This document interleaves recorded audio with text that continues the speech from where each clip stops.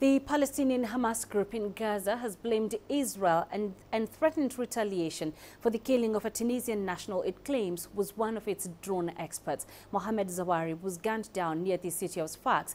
Zawari had been a member of the Hamas group for 10 years and had been supervising Hamas's drone program. The Tunisian Interior Ministry said Zawari was killed in his car by multiple gunshots in front of his house. Four rental cars were used in the killing and two handguns and silencers were seized. A Tunisian nationals had been arrested in connection with that killing. Hamas, which rules the Gaza Strip, did not offer any evidence to support its accusation.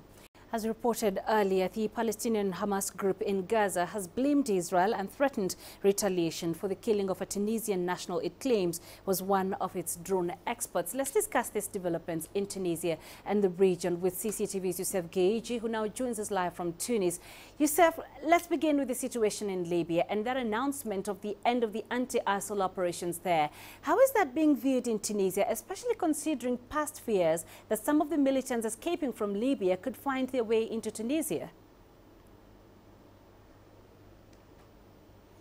Indeed, uh, authorities here are uh, quite skeptical whether this uh, is an end uh, to the battle against ISIL. Um, Tunisian authorities here know that uh, there is a higher risk now that ISIL fighters were kicked out of Sirte that uh, they may try to find refuge somewhere else, whether in, in the southern part of Libya or neighboring countries, including Tunisia, considering Tunisia has a long stretch of border with Libya Libya, uh, the, uh, there is a possibility that some of these fighters will attempt to come into the country.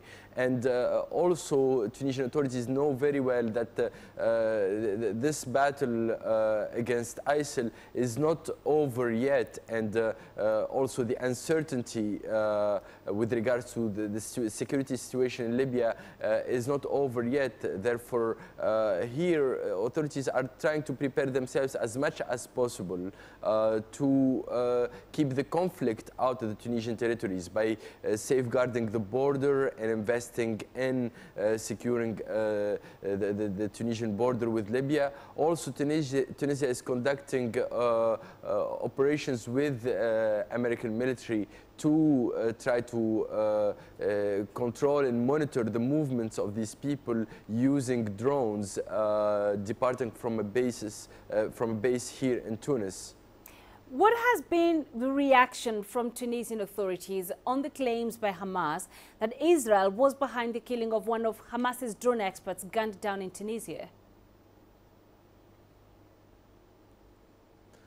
So far, uh, official authorities uh, have not spoken yet about uh, the assassination and what exactly happened. Uh, they are arresting people. Uh, they arrested about eight people, including a journalist who actually uh, flew out of the country to Hungary and came back after the authorities insisted that it is better for her to come and provide the, any information that she has. The journalist is one of the last persons to see uh, Al-Zawari and to interview him.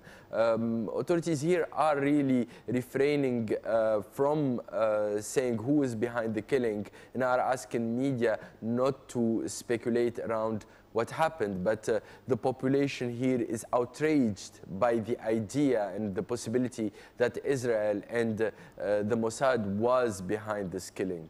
All right, Youssef Gaigi in Tunis, thank you for joining us.